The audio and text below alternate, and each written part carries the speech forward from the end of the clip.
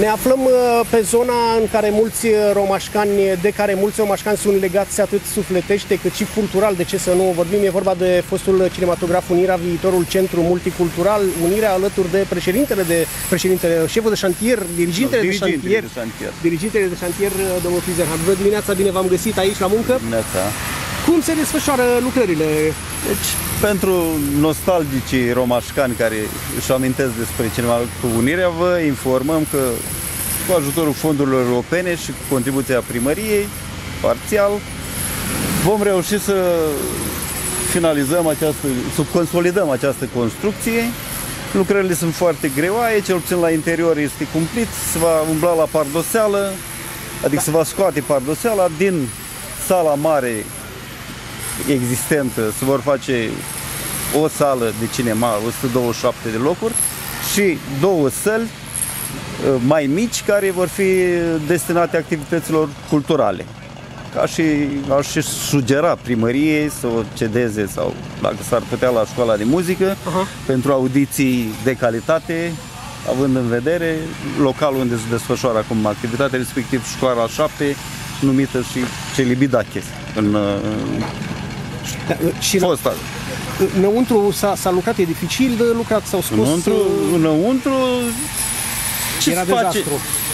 Nu, s-au scos, s-au scos scaunele, s-au scos parchetul, urmează ce se face pe afară, se face și la interior, respectiv îndepărtarea tencuielii, consolidarea stâlpilor care se văd acolo, Mhm.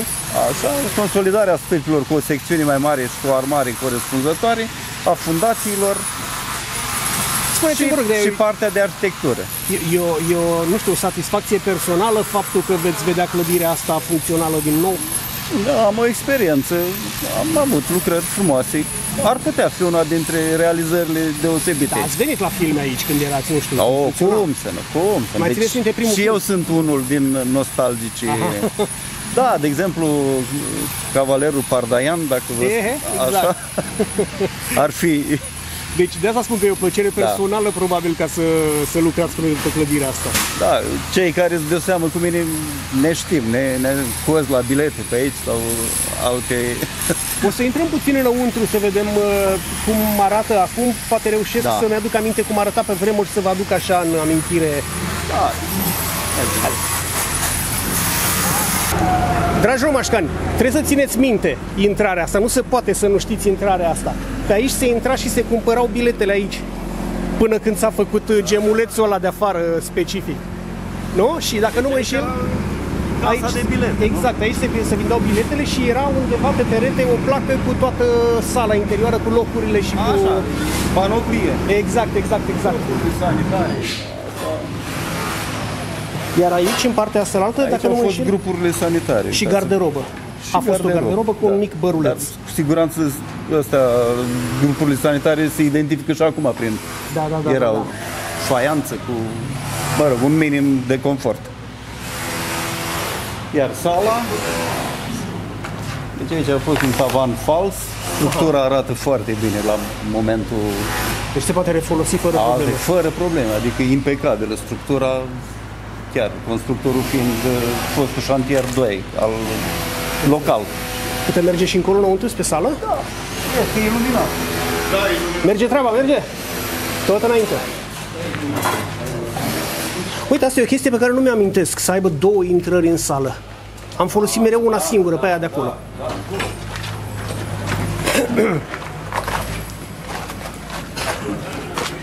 Pen- Pentru mine e o relație specială cu sala asta pentru că uh, aveam șapte ani când am cântat prima oară pe scena aia Da. La o de asta de an școlar. Iar aici e celebrul rând N, Da, ultimul acolo. A, ăsta. ăsta era- rândul N pe care era cumpărau toți. râvnit, Da, nu? da, da, da, da, era cel râvnit, mai într-adevăr. dorit pentru da. că avea balustrada aia. Da, da, da. Nu știu cât o să vedeți în imagine pentru că e, e întuneric, e întunecat aici. Mai, mai, mai... uh, Pentru cei, nu, nu, nu, e treaba noastră să, să, se, Da. să se vadă.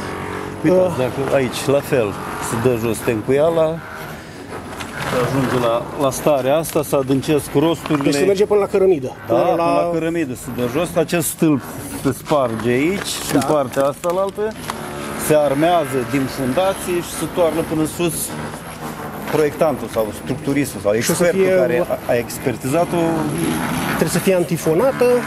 Deci vor fi, deci uh, vor fi, va fi placată cu plăci fibrolemnoase, pretabile la, la utilizarea ei, mă refer. Am înțeles. Din punct de vedere so, uh, al fonic, al sunetului, obligat uh, Și să compartimentarea fie cum o să se facă? Adică ați spus că vor fi Da. trei săli, practic, una de Da. cinema mică și două mai... uh, Deci va fi undeva până în zona asta o sală o sală Da, de cinema. mare, așa, aici vor fi niște pereți care vor separa de, de peretele exterior. Da. Iar de aici uh, va fi o sală încolo și o sală încoace separată prin doi pereți. Pereții se realizează dintr-o structură metalică Da. prinsă de, de pardoseală, niște stâlpi din profili metalice, care vor fi îmbrăcați cu gips carton uh, și acest, uh, fi, aceste plăci fi, fibrolemnoase care confirmă o audiție corespunzătoare la activitățile care se vor desfășura. Și se renunță cumva la Tavanul. partea asta? Nu, vor fi, vor fi Celelalte două săli aici. celelalte două săli până sus, de o parte și înțeles. de alta, și cu un hol, cu un hol între ele. Altă un întrebare hol, ar fi da. uh, unde erau uh, Și mașinile acolo de se proiecție. amenajează, și acolo, se acolo, amenajează, sigur da? că da, și acolo se amenajează, e considerat așa numitul etaj. Problema este că aici noi trebuie să spargem, aici să scoatem o grămadă de moloz afară, aici e cumplit. Așa se construia pe Avem, vremea aia. avem nevoie, adică avem nevoie, avem accesul ăla care este ne salvează, să zic, acolo, aia să distruge tot acolo, vor fi, ce să vă spun, Pe o scară de la 1 la 10, că doar aveți experiență în materie de construcții și uh, pe o scară de la 1 la 10, cam cât e de dificilă reamenajarea asta aici? Însăși, categ- însăși categoria de importanță a lucrării este dată prin proiectare, categoria de importanță B. Restul construcțiilor cate- sunt categorii de importanță normală, C. Deci și proiectarul, proiectantul prin proiectare i-a acordat o atenție deosebită și a încadrat-o în categoria B de importanță. Și în cât timp ar trebui să fie gata? Ea trebuie să fie gata la 31 decembrie 2023. Anul ăsta, adică peste Anul câteva ăsta. luni. Da. Cu o mobilizare, mă rog, ei, ei au început pe 7, ordinul începerea a fost pe 24 iulie, am început pe 7, pe 7 august. Probleme am avut cu racordul la instalația electrică, ne-au servit până la urmă, ne-au rezolvat cei de la E.ON. Nu știu dacă cu celeritate maximă sau uh, dar într-un măcar final aveți- avem, avem, fără energie ești așa. Acum ne aștept dirigentele pe instalații uh, dirigi- eu sunt pe construcție, dirigentele pe instalații din Iași o să vină să stabilim uh, partea de racordare la apăș și canal pentru a face și proiectele care le, le face primăria. Vă, vă mulțumesc foarte mult pentru toate lămuririle. Eu am să mai stau puțin cu colegul rog. să mai luăm niște imagini și ne vedem la, la plecare.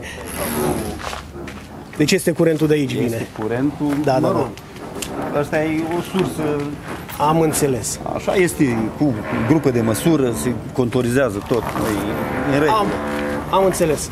Mulțumesc. Ei bine, bă, dragilor și dragilor, așa cum vă spuneam, nu să stau foarte mult pentru că lăsăm și pe oamenii ăștia să lucreze. Pentru cei care n-au mai fost de mult pe aici, pentru cei care n-au mai fost de mult pe aici și cu siguranță n-au avut ocazia să intre în, în clădirea asta, este fostul cinematograf Unirea, viitorul centru multicultural Unirea din uh, Roman. Uh, personal, și sunt convins că vorbesc și în numele uh, colegului Ciprian, ne leagă foarte multe amintiri de, de locul ăsta. Aici am văzut primul meu film, mi-aduc aminte, aici am văzut Zorro, aici am văzut uh, s- uh, Spider-Man din 1983, uh, uh, Lanțul amintirilor, prietenii mei elefanții, toată seria de filme uh, chinezești cu Lancia de Argint, uh, Biciu Fermecat și Sora 13 și așa mai departe. Aici am văzut uh, o mulțime de filme și mi-aduc aminte că mai chiuleam de la școală ca să vin uh, cu 3 lei dacă era dimineața sau cu 6 lei dacă era după amiaza să, să văd un film și încă o dată vă, vă spun, am o amintire personală pentru că aici mi-am început m, da, cariera muzicală, am cântat la 7 ani exact pe scena aia, eram în clasa 1 la încheierea anului școlar și am cântat prima mea melodie la chitară vreodată. Deci eu sunt așa legat puțin mai uh, sufletește de, de clădirea asta și mă bucur să văd că în sfârșit se lucrează în ea. Citisem ieri pe, pe Facebook, a pus cineva o părere că de ce nu se prezintă dinăuntru, că presa probabil nu are voie să filmeze. Presa are voie să filmeze cu condiția să ceară voie, pentru că e un șantier. E un șantier la urmă și dacă ai aprobările necesare, poți să vii și să vezi ce e aici.